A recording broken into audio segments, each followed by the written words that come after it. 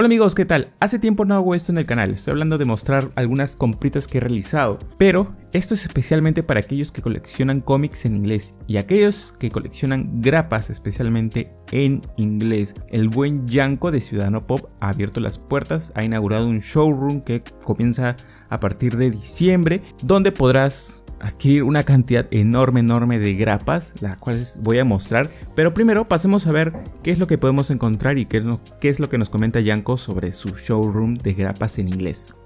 Se me hace muy difícil resumir todo lo que he visto porque hay de Marvel, hay de DC, hay de Superman, Liga de la Justicia, no sé, Iron Man, hay de todo, es muy variado, encuentras arcos completos, números sueltos, también hay tomos y de todo tipo de personajes de todas las épocas.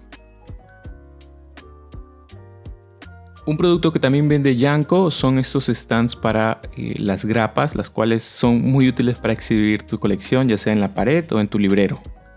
Hola a todos, soy Giancarlo, eh, Ciudadano Pop. Los invito a nuestro showroom, donde tenemos cientos, quizás miles de cómics, desde los 70s, 80s, 90s, que estamos ahora vendiendo con precios increíbles, menos de lo que encontrarían incluso en Estados Unidos. Tenemos DC, Marvel, Dark Horse, Image, eh, para todas las edades, para todos los gustos. Todo original, todo en inglés. Los esperamos. Gracias. Y ahora sí pasemos a las compras.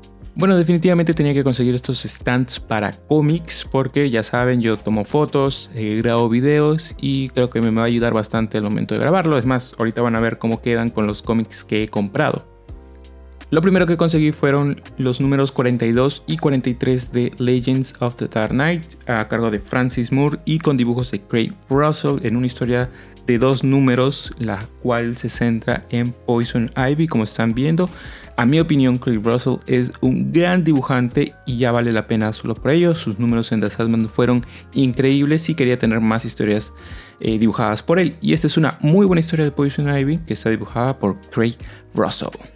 Continuamos con el número 40 de Marvel Fanfare. Este en específico vendría a ser el último trabajo de David Mazzucchelli en Marvel. David Mazzucchelli dibujó Daredevil Born Again, por ejemplo, gran dibujante. Y también llegué a conseguir este Spider-Man Classics que recopila el número 15 de la Amazing Fantasy Volumen 1, o sea que tiene dibujazos de el gran Steve Ditko y también obviamente el guion de Stanley. No se me resientan los fans de ellos, pero bueno, estas dos grapitas están ahí en muy buen estado y a un muy buen precio.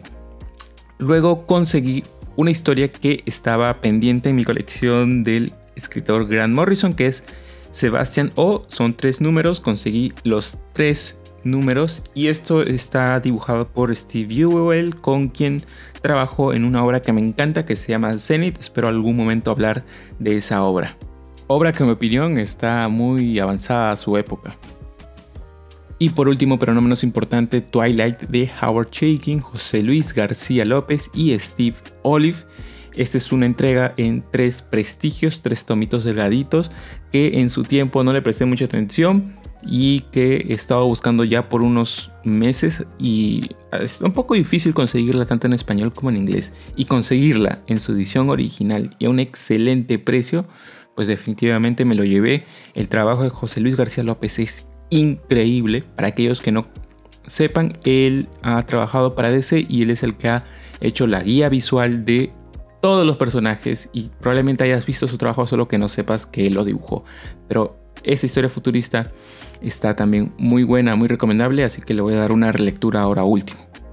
Y bueno, ya vieron las cositas que compré en el showroom de Ciudadano Pop. Totalmente las recomiendo. Recomiendo muchísimo, muchísimo los stands porque se ven geniales, tanto en la pared como en tu librero. Y de hecho, dense una oportunidad de ir, conversen con Yanko para separar fechas y que puedan revisar todo el catálogo que tiene, porque es bastante amplio y es más de lo que han visto en este video. Créanme, se van a llevar una sorpresa bastante grata. Y eso sería todo. Nos vemos en un próximo video y como siempre, no dejen de leer cómics. ¡Chao!